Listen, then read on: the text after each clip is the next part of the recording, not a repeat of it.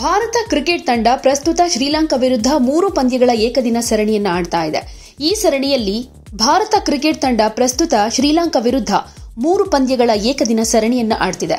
ಈ ಸರಣಿಯಲ್ಲಿ ಸಹಜವಾಗಿಯೇ ಒಂದು ಪಂದ್ಯ ಬಾಕಿ ಇದ್ರೂ ಟೀಂ ಇಂಡಿಯಾ ಸರಣಿ ಕೈವಶ ಮಾಡಿಕೊಂಡಿದೆ. ಆರಂಭಿಕ ಎರಡೂ ಪಂದ್ಯಗಳನ್ನು ಗೆದ್ದು ಸರಣಿಯಲ್ಲಿ ಅಜೇಯ ಎರಡು ಸೊನ್ನೆ ಮುನ್ನಡೆ ಸಾಧಿಸುವಲ್ಲಿ ರೋಹಿತ್ ಶರ್ಮಾ ಬಳಗ ಯಶಸ್ವಿಯಾಗಿದೆ. ಗುರುವಾರ ಕೋಲ್ಕತ್ತಾದ ಈಡನ್ ಗಾರ್ಡನ್ ಸ್ಟೇಡಿಯಂನಲ್ಲಿ ನಡೆದ ಪಂದ್ಯದಲ್ಲಿ ಭಾರತ ತಂಡ ಶ್ರೀಲಂಕಾವನ್ನ ನಾಲ್ಕು ವಿಕೆಟ್ಗಳಿಂದ ಸೋಲಿಸಿದ್ದಲ್ಲದೆ ಸರಣಿಯನ್ನು ಗೆಲ್ತು. ಈ ಗೆಲುವನ್ನ ಇಡೀ ತಂಡ ಸಂಭ್ರಮಿಸಿದೆ. ಈ ಸಂಭ್ರಮಾಚರಣೆಯ ವಿಡಿಯೋ ವೈರಲ್ ಆಗ್ತಾ ಇದ್ದು, ಇದರಲ್ಲಿ ವಿರಾಟ್ ಕೊಹ್ಲಿ ಹಾಗೆ ತಂಡದ ಯುವ ಬ್ಯಾಟ್ಸ್ಮನ್ ಇಶಾನ್ ಕಿಶನ್ ಮಸ್ತ್ ಮಸ್ತ್ ಡ್ಯಾನ್ಸ್ ಮಾಡಿ ಅಲ್ಲಿ ನೆರೆದಿದ್ದ ಅಭಿಮಾನಿಗಳನ್ನು ರಂಜಿಸಿದ್ದಾರೆ.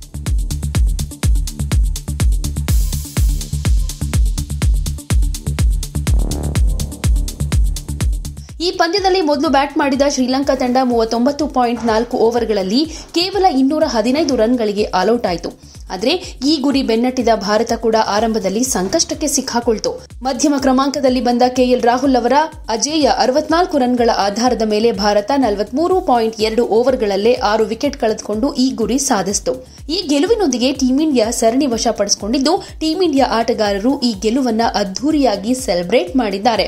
ಈ ಸಂಭ್ರಮಾಚರಣೆಯ ವಿಡಿಯೋ ಸೋಷಿಯಲ್ ಮೀಡಿಯಾದಲ್ಲಿ ವೈರಲ್ ಆಗ್ತಾ ಇದ್ದು, ಈ ವಿಡಿಯೋದಲ್ಲಿ ವಿರಾಟ್ ಹಾಗೆ ಇಶಾನ್ ಕಿಶನ್ ಜಾಲಿ ಮೂಡ್ನಲ್ಲಿರೋದನ್ನ ನೋಡಬಹುದು ಈ ಇಬ್ಬರು ಆಟಗಾರರು ಸಖತ್ತಾಗಿ ಡ್ಯಾನ್ಸ್ ಮಾಡೋದ್ರೊಂದಿಗೆ ಅಭಿಮಾನಿಗಳಿಗೆ ಎಂಟರ್ಟೈನ್ಮೆಂಟ್ ಕೊಟ್ರು.